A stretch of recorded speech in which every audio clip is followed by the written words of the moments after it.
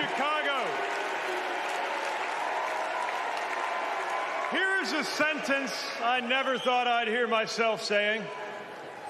I'm Pete Buttigieg, and you might recognize me from Fox News.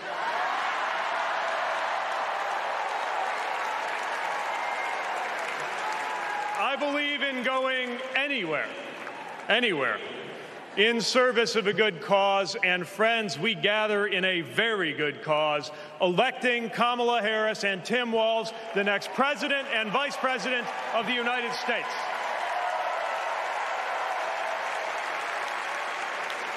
The choice could not be clearer.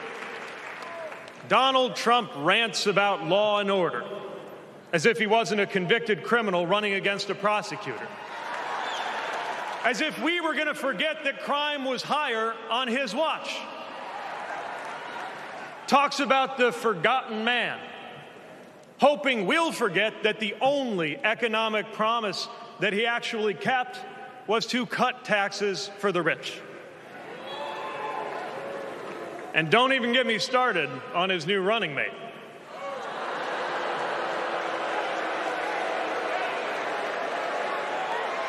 At least Mike Pence was polite.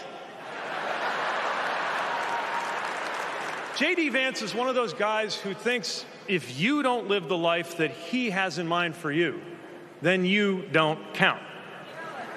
Someone who said that if you don't have kids, you have, quote, no physical commitment to the future of this country.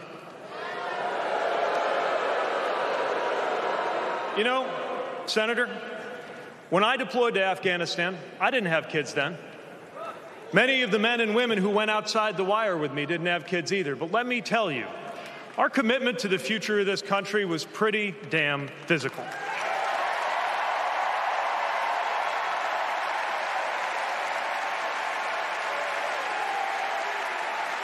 choosing, choosing a guy like J.D. Vance to be America's next vice president sends a message. And the message is that they are doubling down on negativity and grievance. Committing to a concept of campaigning best summed up in one word darkness. Darkness is what they are selling. The thing is, I just don't believe that America today is in the market for darkness. I believe America is ready for a better kind of politics. Yes, politics at its worst can be ugly, crushing, demeaning, but it doesn't have to be. At its best, politics can be empowering, uplifting. It can even be a kind of soul craft. My faith teaches me that the world isn't made up of good people and bad people but rather that each of us is capable of good and bad things. And I believe leaders matter because of what they bring out in each of us the good or the bad. Right now, the other side is appealing to what is smallest within you. They're telling you that greatness comes from going back to the past. They're telling you that anyone different from you is a threat they're telling you that your neighbor or nephew or daughter who disagrees with you politically isn't just wrong, but is now the enemy. I believe in a better politics, one that finds us at our most decent and open and brave.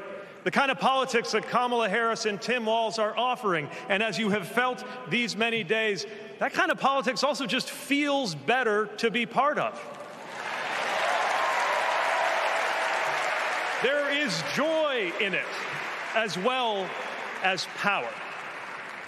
And if all of that sounds naive, let me insist that I have come to this view not by way of idealism, but by way of experience. Not just the experience of my unlikely career. Someone like me serving in Indiana, serving in Washington, serving in uniform. I'm thinking of something much more basic. I'm thinking of dinner time at our house in Michigan. when the dog is barking and the air fryer is beeping and the mac and cheese is boiling over, and it feels like all the political negotiating experience in the world is not enough for me to get our three year old son and our three year old daughter to just wash their hands and sit at the table. It's the part of our day when politics seems the most distant. And yet, the makeup of our kitchen table, the existence of my family, is just one example of something that was literally impossible. As recently as 25 years ago, when an anxious teenager growing up in Indiana wondered if he would ever find belonging in this world.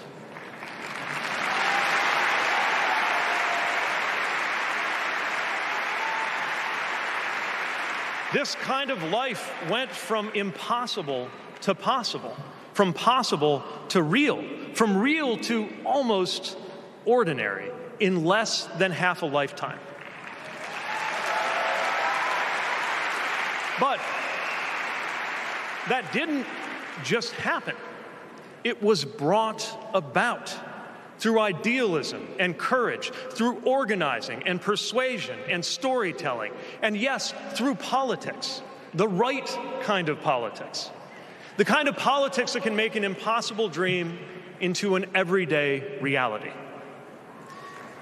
I don't presume to know what it's like in your kitchen, but I know, as sure as I am standing here, that everything in it, the bills you pay at that table, the shape of the family that sits there, the fears and the dreams that you talk about late into the night there, all of it compels us to demand more from our politics than a rerun of some TV wrestling death match. So this November, we get to choose. We get to choose our president. We get to choose our policies, but most of all, we will choose a better politics. A politics that calls us to our better selves and offers us a better everyday. That is what Kamala Harris and Tim Walz represents. That is what Democrats represent. That is what awaits us when America decides to end Trump's politics of darkness once and for all. That is what we choose when we embrace the leaders who are out there building bridges and reject the ones who are out there banning books. This is what we will work for every day to November and beyond. So let's go win this. Thank you, Democrats.